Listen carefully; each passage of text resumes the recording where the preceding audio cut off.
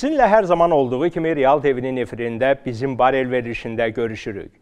Məni ötəri tanıyanlar elə zənn edirlər ki, ya Sokarda işləyirəm, ya da BP-də çalışıram. Əslində onları qınamıram da.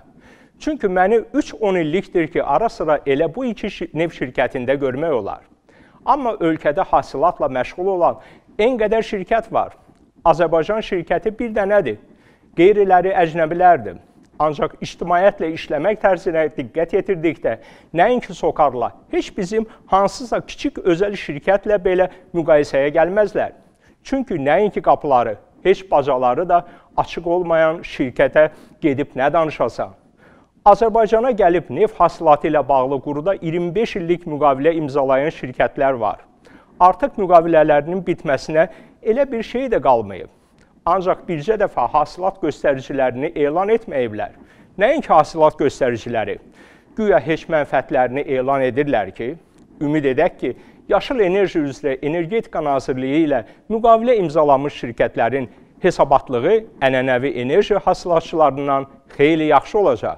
Çünki yaşıl enerji iqtisadiyyata neft kimi daim toza bürünmüş kömürün alternativi kimi gəlmir o istehlakçıların gözləri önündə və missiyası da şəffaflıqdır. Onun enerjisindən kütləvi yararlanan isə 4-cü sənaye inqilabının məhsulları olacaq. Yəni rəqəmsal dünya. Nə isə hələlik keçə gedək xəbər axınına. Görək yola saldığımız həftə ərzində neftimiz ətrafında nə kimi yadda qalan hadisələr baş verib. Fitch Beynəlxalq Reytinq Agentliyi Sokar şirkətinin reytinq üzrə proqnozunu mənfidən stabilə yüksəldib. Reytinqdəki dəyişiklik Azərbaycanın suveren reytinq proqnozunun təkrar baxılması ilə bağlıdır. Fitch Sokar üçün 1 barel neftin maya dəyərinin 20 dollar səviyyəsində olmasını qeyd edir. Agentliyin qiymətləndirmələrinə görə Sokarın borclanma səviyyəsi yüksək olmasına baxmayaraq nəzarət altındadır. 2020-ci ilin birinci yarısı ərzində Sokarın nəticələri agentliyin gözlədiyindən daha yaxşı olub. Xəzər dənizinin Azərbaycan sektorunda BP şirkətinin layihəsi üçün nəzərdə tutulmuş Satti üzən qazma qurğusunun modernləşdirilməsi layihəsi başa çatıb. Hazırda buraxılışla bağlı işlər və müxtəlif sınaqlar keçirilir. Xatırladaq ki, ölkəmizin Azərbaycan Dövlət Neft Şirkətinin dənizdəki qazma işləri ilə ixtisaslaşan Caspian Drilling Company şirkəti və Qazaxstanın Kazmunayqaz şirkətləri Sati üzən qazma qurğusunun birgə istifadə edilməsi barədə 2019-cu ilin iyununda müqavilə imzalayıb. Sati qurğusu Xəzər dənizində 80 metr dərinliyə qədər qazma işlərinin aparılması üçün nəzərdə tutulub. Bu dəfə verilişimizin əsas hissəsinə nə neft qiymətlərindən, nə də ölkəmizin neft-qaz bazarındakı hadisələrdən başlamaq istəmirəm. İstəyim diqqətimizi Azərbaycanın ətrafında enerji aləmindəki əsas hadisələrə yönəltməkdir. Nədən?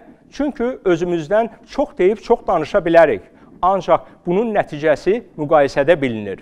Başlayaq bizim qərbdə yerləşən qəribə qonşumuzdan.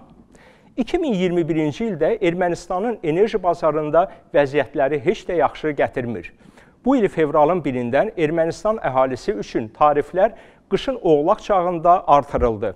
Düzdür, onlarda bunu hökumət etmir.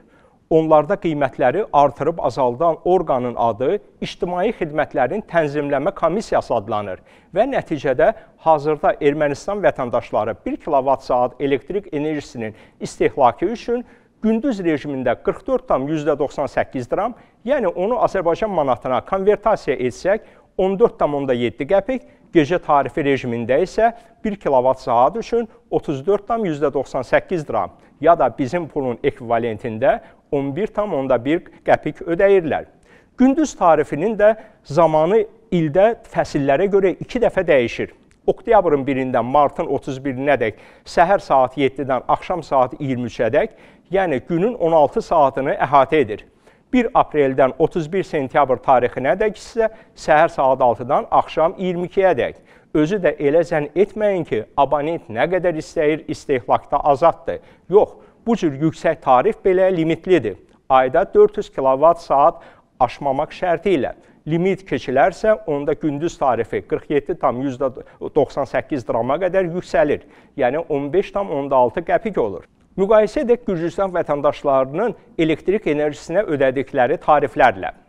Gürcüstan Milli Enerji və Su Təchizatı Tənzimləmə Komissiyasının məlumatına görə 301 kilovat-saata qədər elektrik enerjisi istehlak edən abonentlər 22,5 tetri, yəni bizim pulla ifadə etsək 11,2 qəpik 301 kilovat-saatdan çox enerji istehlak edənlər isə 26,53 tetri və ya Azərbaycan manatı ilə 13,5 qəpik ödəyirlər. Bu tariflər Tiflis şəhəri üçündür. Regionlarda isə cüzi fərqlə bir qədər ucuzdur. Gürcüstanla Ermənistanda elektrik enerjisində tarif fərqi niyə xeyli fərqlidir? Soruşa bilərsiniz ki, axı Ermənistanın hələ atom elektrik stansiyası da var. Hə, Baxın, elə bu məsələnin üstünə gəlmək istərdim. İş burasındadır ki, Cənubi Qafqaz ölkələri içərisində maya dəyəri ən ucuz olan elektrik enerjisinə məhz Gürcüstan sahibdir. Çünki onun əldə etdiyi elektrik enerjisinin 90%-dən çoxu su resurslarından yararlanır. Müqayisə üçün cari ilin birinci rübündə Azərbaycanda istehsal edilən elektrik enerjisinin 95,4%-i istilik elektrik stansiyalarında hasil edilib.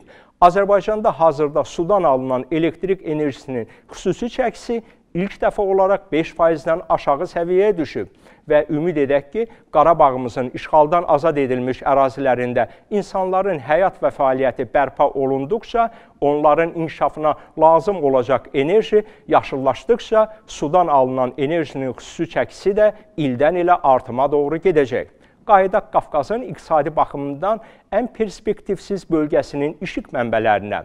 Ermənistanda ötən ilin nəticələrinə görə elektrik enerjisinin 42%-i təbii qaz hesabına, 27,5%-i hidroenergetikadan, 29%-i atom energetikasından və 1,5%-i alternativ enerji mənbələri hesabına formalaşıb. Əvvəllər isə atom energetikasının xüsusi çəkisi 40% idi. Nədən azalır Ermənistanda atom energetikasından istifadə ildən ilə? Bunun bir kökü təhlükəsiz istismar məsələlərinə bağlıdırsa, digər kökü də kommersiyadan qaynaqlanır. İrəvanın 30 kilometrliyində yerləşən Mesamor atom elektrik stansiyası iki enerji blokundan ibarətdir. Onun ilk enerji bloku 1976-cı ilin dekabrında, ikincisi 1980-ci ilin yanvarında istifadəyə verilib atom elektrik stansiyası 1989-cu ilin martında 25 min insanın ölümü ilə nəticələnən 1988-ci ilin dekabrında baş verən Spitak zəlzələsindən sonra dayandırılmışdı. İkinci enerji bloku ölkədəki enerji böhranının fəsadlarını aradan qaldırmaq səbəbindən 1995-ci ilin noyabrında yenidən işə salındı. O zamandan bu blok müəyyən bir zamandan təmirə dayanır modernizə edilir ki, sonradan fəaliyyətini davam etdirə bilsin. Mayın 15-də Ermənistan Atom Elektrik Stansiyasında modernləşdirmə və genişləndirmə layihəsi çərçivəsində stansiyanın fəaliyyəti 141 gün müddətinə, yəni oktyabrın 3-nə qədər dayandırıldı. Bu, AES istismara verildiyi andan indiyənə qədər ən uzun müddətli təmir işləridir. Modernləşdirmə müqaviləsi üzrə işlərin təşkili Rusiya Dövlət Atom Enerjisi Korporasiyası Rosatoma daxil olan Rus Atom Servis Açıq Səhmdar Cəmiyyəti tərəfindən həyata keçirilir və Rusiya tərəfinin açıqladığı məlumata görə modernləşmədən sonra reaktorun fiziki və mexaniki xüsusiyyətləri onun 2026-cı ildən sonrakı müddətə də istismar olunmasına şərait yarada bilər. Elə Ermənistanda əhali də bundan təşviş keçirir. Çünki Rusiya tərəfi görüləcək işlərə nə qədər vəsait xərcləndiyini rəsmən açıqlamayıb. Əvvəllər isə bunun 300-330 milyon dollara başa gələcəyi bildirilirdi. İndi Ermənistan əhalisi güman edir ki, 2021-2022-ci ilin qış payız mövsümü elektrik enerjisinin qiymətini yenidən artıra bilər. Necə deyərlər, göz gördüyündən qorxar. Keçək Xəzərin o tayına.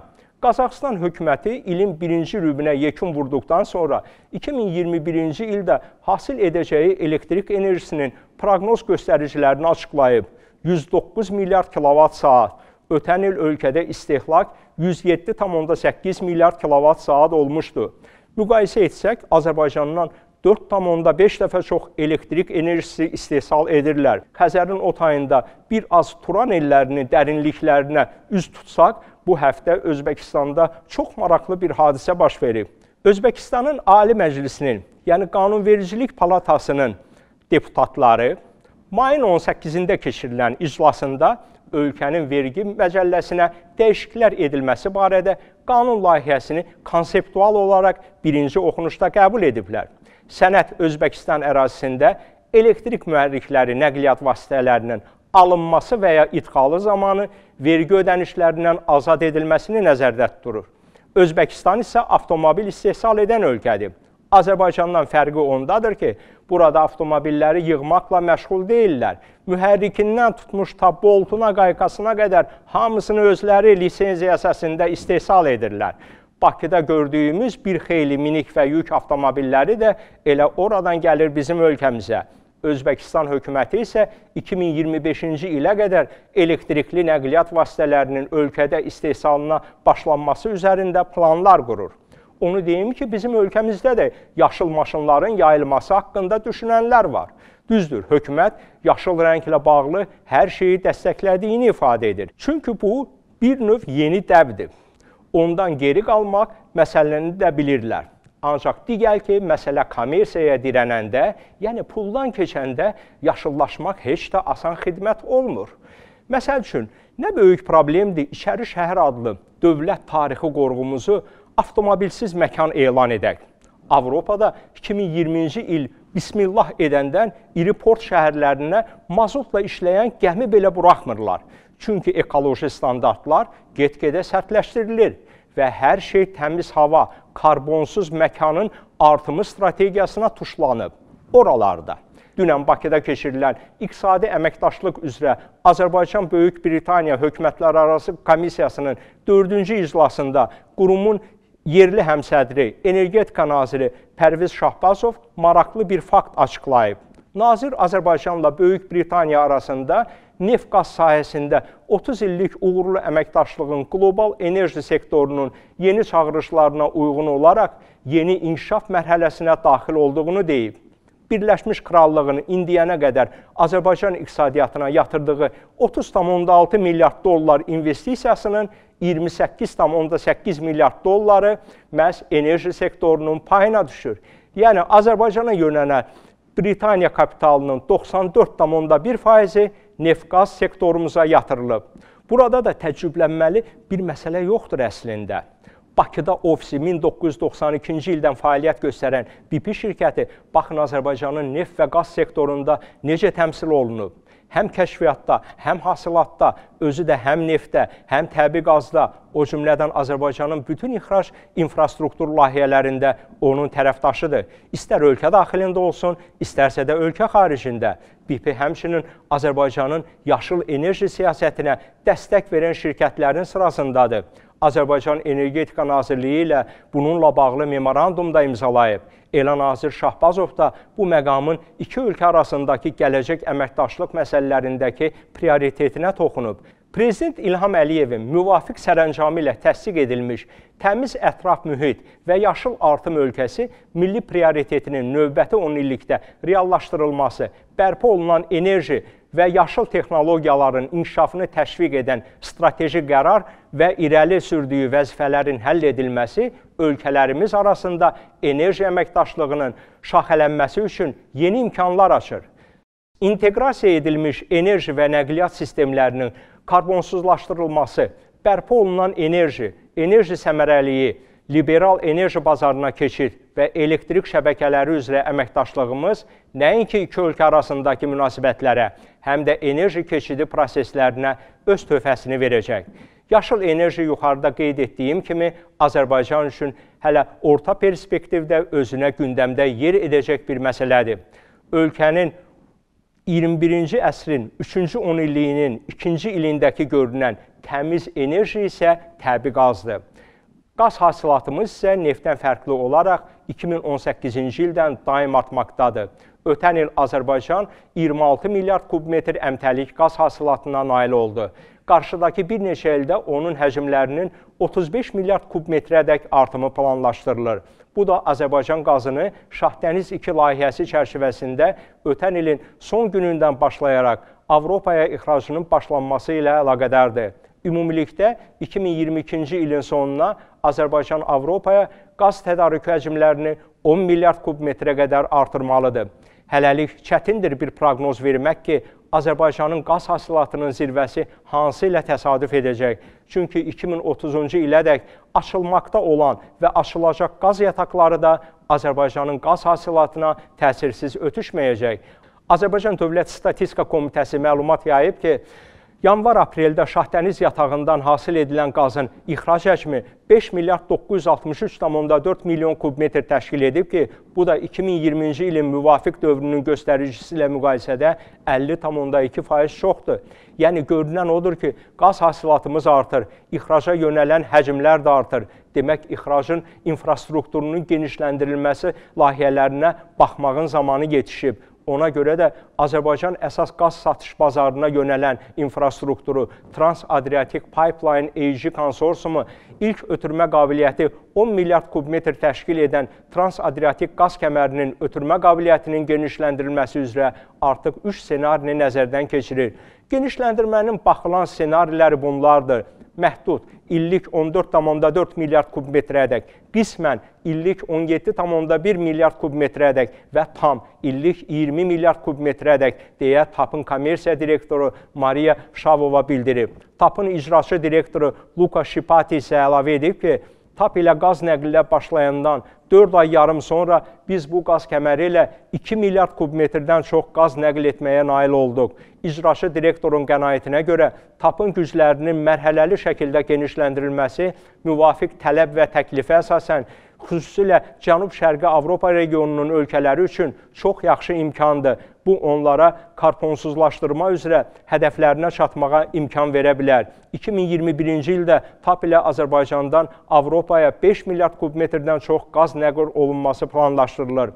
Bir məsələni xatırladım ki, TAP-ın genişləndirilməsi uzunmüddətli prosesdir və burada təbii ki, yeni boru xəttinin çəkilişindən söhbət getmir. Cənub qaz dəhlizi layihələndirilərkən sifarişçi tərəfindən tələb elə qoyulmuşdu ki, borular əvvəlcədən Azərbaycandan Türkiyənin qərbindəki paylama stansiyasına qədər 31 milyard kubmetr qazı ötürə bilsin. Oradan Avropaya qədər isə 20 milyard kubmetr.